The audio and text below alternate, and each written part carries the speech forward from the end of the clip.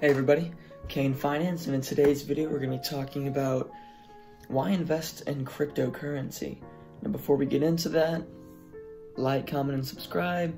Truly helps out the channel. We're almost to 90 subscribers. We're one off. If you can just help and just click that button, that red, shiny little rectangle button that says subscribe on it, I would really appreciate it.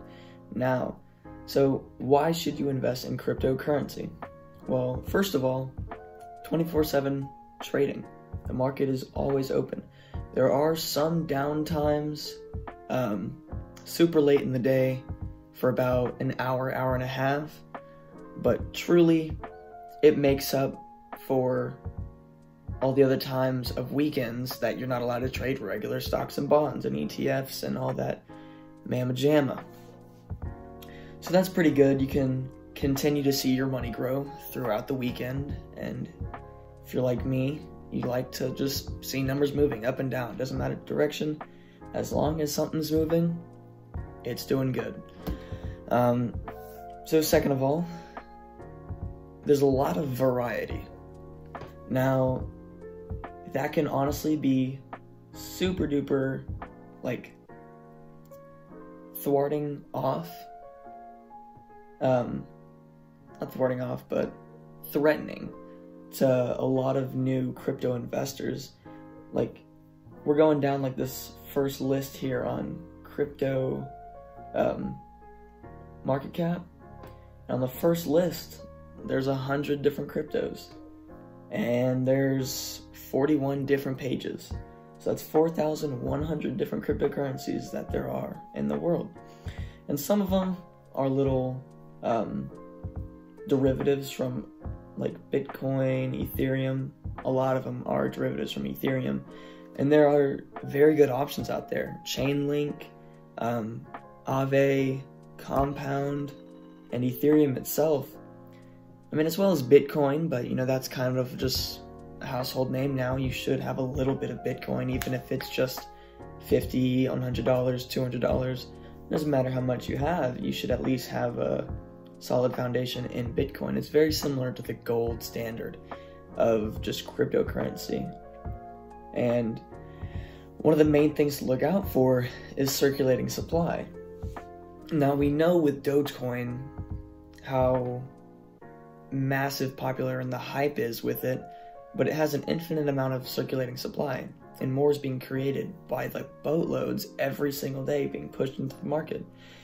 So the price gets super diluted, people continue to put in more money, price gets diluted, and it's just a never ending battle. And it will end, sorry, not never ending battle. It'll end in millions of dollars lost once it goes back down to a fraction of a fraction of a penny. So that's something to look out for circulating supply. But even with Ethereum, the supply is infinite, but I haven't done my research on it, but like I'm pretty sure they let out very small batches of Ethereum. Do research on it, I'll let y'all know. So when we're looking at circulating supply, a lot of these cryptocurrencies are nearing their max supply with their circulating supply because of how long they've been out in the market. And the closer that they get to the max supply, the higher the prices are going to be just because supply and demand. Less supply, more demand. You know, so prices are going to go up and all that fun stuff. So get it while it's maybe 45% the way there, 75% the way there. Bitcoin right now is 88.67% of the way to max supply. Uh, max supply is 21 million, circulating is 18.6 million. So that's something to look out for. Obviously, get Bitcoin. It's a staple, staple in the economy. So I um, recommended Chainlink. It has about 405 million circulating, max supply 1 billion. So it's going to continue to grow, and it's not even halfway there. It's 40% the way there. We look at Aave, and it's 12 million, 12.3 million circulating, 16 max supply. And there's just so much research that you can do, and you can't even do it all in one day. You can kind of skim through everything, look at all of them, but really, it takes time, takes weeks.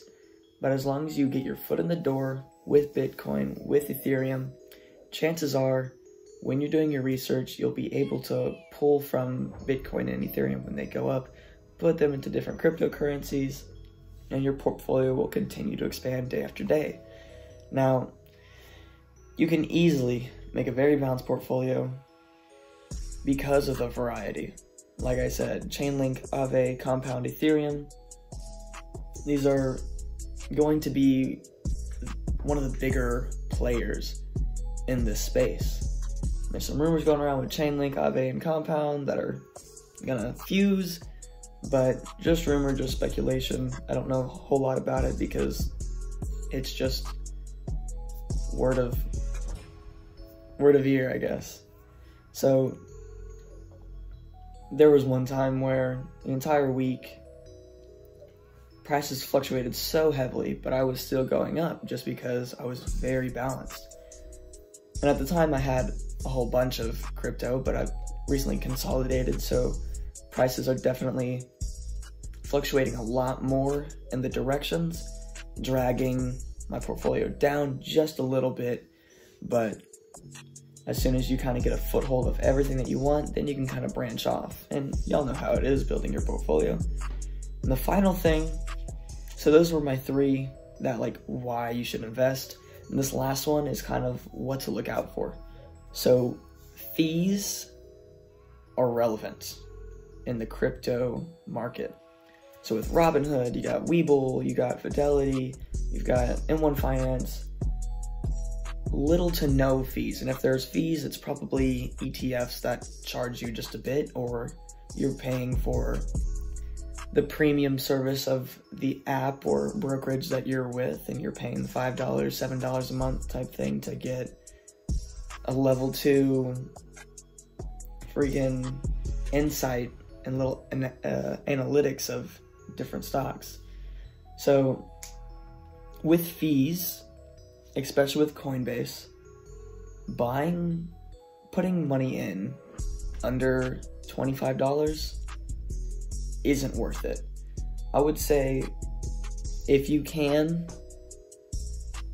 put more than 50, if you can put more than 100, um, but at the very least more than 50.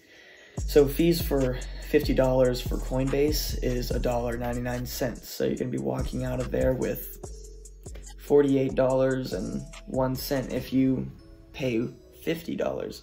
But if you're paying $100, it's going to be $2.99. So, I mean, less than half, but, you know, it's still, what, a 2.99% off of your money right there. I mean, you can easily get that back in a day, but honestly, that's kind of large.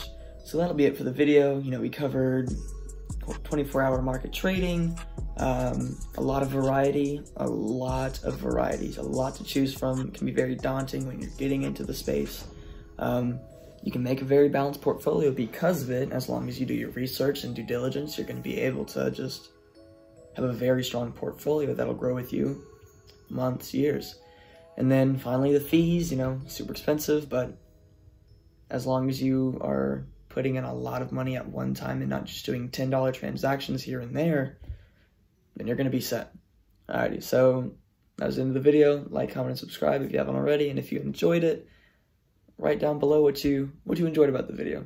Alrighty, y'all have fun.